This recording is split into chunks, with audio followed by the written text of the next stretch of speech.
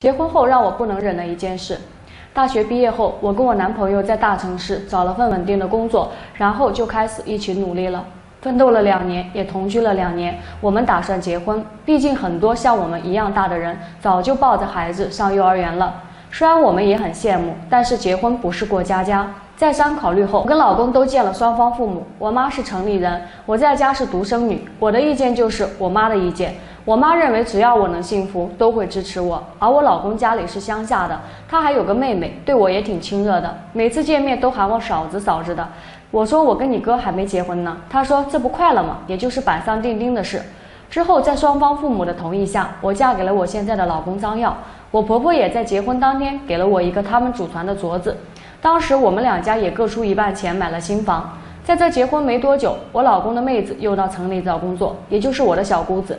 他刚来的时候，因为不小心在火车站吃饭时，钱包被人给顺走，现在是身无分文，只能找到我们。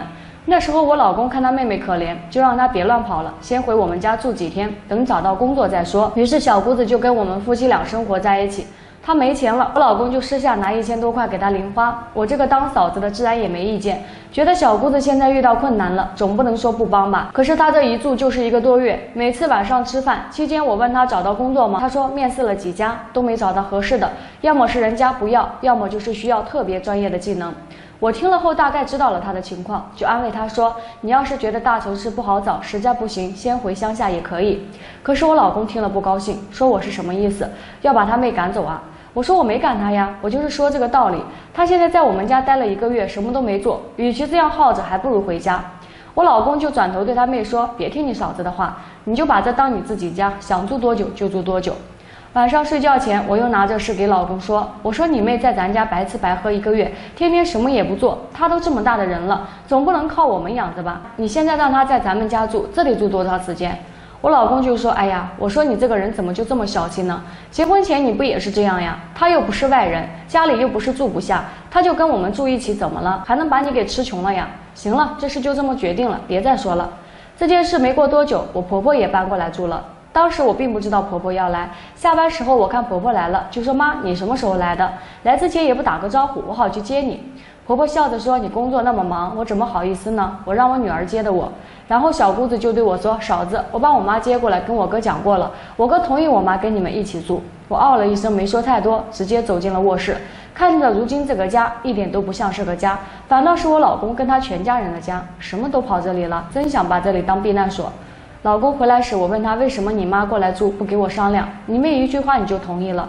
我老公说：“我妈年纪大了，以前的老房子经常下雨潮湿，对她身体也不好。现在咱们不是买了大房子吗？我就寻思着把咱妈接过来，跟我妹住一屋，这样也好照顾。”呵呵。你可真是个大孝子，那是不是我也要把我妈接过来，两家人一起住得了？你看你说的什么话？你现在嫁到我家了，就是我们家的人了，你怎么胳膊肘老往外拐？你妈那住的条件比我妈好呀，她来不是找矛盾吗？你们全家人问过我的意见吗？什么事都是你妈、你妹还有你做决定，那我呢？我的意见就不是意见了吗？现在我告诉你，明天开始他们都得搬走。你什么意思？你别忘了，这个家房产证虽然写的是你的名字，可是这钱我妈也是出了，你凭什么让她搬？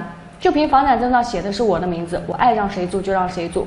哈，老公一耳光打了过来，直接把我的嘴角扇出了血。我告诉你，你不要得寸进尺。我捂着被打得发烫的脸说：“你妹找不到工作来找我照顾，我忍了。现在你妈也过来住，还想着让我照顾，干脆你把你全家亲戚都叫过来照顾得了。让你照顾难道不应该吗？她是老人，你一点孝心都没有吗？我妈刚过来你就想赶她走，你这心真狠呀！最毒莫过妇人心，我看你就是个坏女人。”我瞪着他说：“这个家过不下去了，我们离婚吧。还有，我不是坏女人，我就是看不惯你们一家人的做法。你要是真想跟你妈过，那这个家是你们的，我走可以吧？你想走就走，没人拦你。不就是离婚吗？多大点事？你这种女人，我还就是看不惯。我妈累死累活把我养这么大，不是来看你脸色受你气的，她是来享福的。你这种女人有多远就给我滚多远。就这样，我与她离婚了。难道就因为我不想照顾她妈，赶她妈走就错了吗？”